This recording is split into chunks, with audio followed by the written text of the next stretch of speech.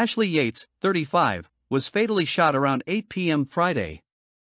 A Louisiana woman was shot multiple times as she was leaving work Friday in what police are calling a domestic violence situation before the killer turned the gun on himself. Ashley Yates, 35, was found outside a store at Westport Village in Graymoor Devondale around 8 p.m. on June 30, police said. When we found her, she was being treated by some civilians for her gunshot injuries, Lyndon Police Chief Robert Schroeder tells People. Ashley was transferred to University of Louisville Hospital, where she died of her injuries. Schroeder described the killing as a domestic violence situation. The victim's brother, Andrew Thompson, told WHAS 11 that Ashley had every reason to leave the person who did this, and her life was threatened before, but she was stuck in a cycle and kept going back to this individual. Thompson said the suspect knew where she was going to be and what time she was going to get off, and he waited for her, he said, WHAS 11 reported. I believe she's in heaven, and he will have to answer to that same God for what he's done. Police said the suspect, who has not been publicly named, killed himself on Saturday.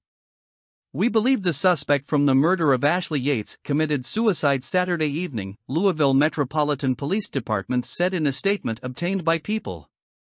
Our case is closed by death of offender.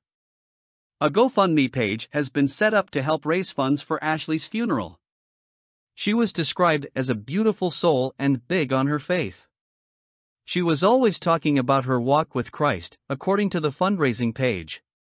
Even at the top of her Facebook page, she has written every day is a gift from God, that's why we call it the present. She has taught us just how precious life and time on this earth is.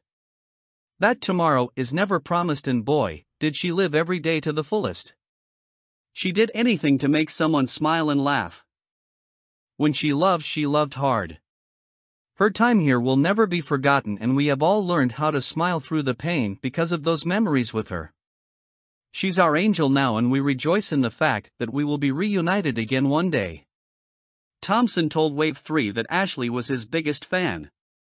That was my best friend in a lot of ways, he said. We were always getting in trouble together, and she would come to my comedy shows. She was my biggest fan, and she believed in me.